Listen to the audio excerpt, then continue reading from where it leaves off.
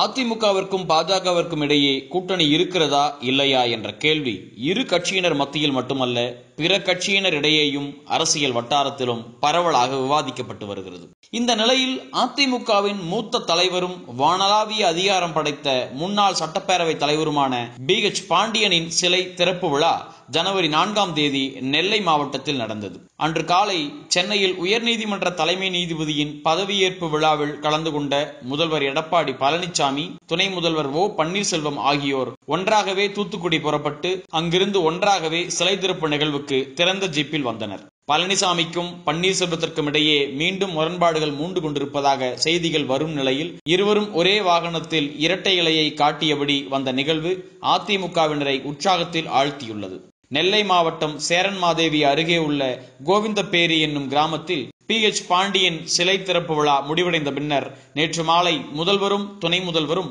அம்பாசமுத்திரம் அதிமுக எம்எல்ஏவான முருகையா பாண்டியன் இல்லத்திற்கு சென்றனர். உடல்நலம் சரியில்லாத காரணத்தால் ஓய்வெடுத்து வரும் முருகையா பாண்டியனை சந்திக்க இருவரும் அங்கே சென்றபோது அவர்களோடு அதிமுகவின் துணை ஒருங்கிணைப்பாளர் கே பி முனுசாமி அமைப்பு செயலாளர் மனோஜ் பாண்டியன் அமைச்சர்கள் கடம்பூர் ராஜு உதயகுமார் தலவாய் சுந்தரம் உள்ளிட்டோர் முருகையா பாண்டியனை நலம் விசாரித்துவிட்டு அவர்களது வீட்டில் காபி சிற்றுண்டி சாப்பிட்ட போது தலைவர்கள் மத்தியில் தென் மாவட்ட நிலவரம் பற்றியும் தேர்தல் கூட்டணி பற்றி பொதுவாக பேச்சு எழுந்தது. அப்போது கே பி முனுசாமி பாஜக கூட்டணி நமக்கு தேவையில்லைங்க அவங்களுக்கு தான் நம்ம தேவை என்று ஆரம்பித்து வைக்க இபிஎஸ் ஓபிஎஸ் முன்னிலையிலேயே மற்ற பலரும் பாஜகவுடன் கூட்டணி வேண்டாம். சிறுபான்மையினர் ஓட்டுகள் திமுகவுக்கு என்றைக்கும் முழுமையாக சென்றதில்லை. நாம் பாஜகவோடு இருப்பதால் மட்டுமே சிறுபான்மையினர் ஓட்டுகள் நமக்கு வர மறுக்கிறது எனவே பாஜக கூட்டணியை தவிர்த்துவிட்டு தைரியமாக தேர்தலை சந்திப்போம். இதை நீங்கள் இருவரும் சென்னை வரும் அமித்ஷாவை சந்தித்து சொல்லிவிடுங்கள் என்று வேண்டுகோள் வைத்தனர். அப்போது எடப்பாடி பழனிசாமி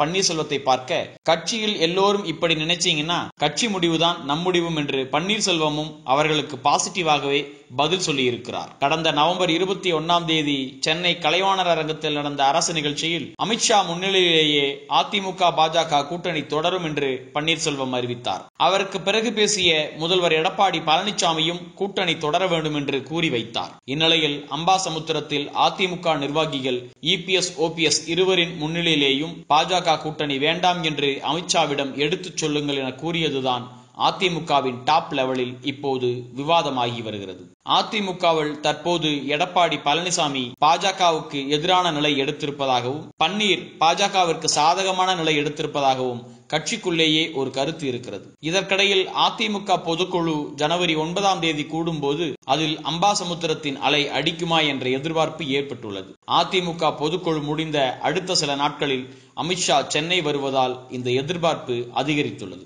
லைக் பண்ணுங்க ஷேர் பண்ணுங்க கீழே கமெண்ட் பண்ணுங்க. மின்னம்பலம் யூடியூப் சேனலை சப்ஸ்கிரைப் பண்ணுங்க.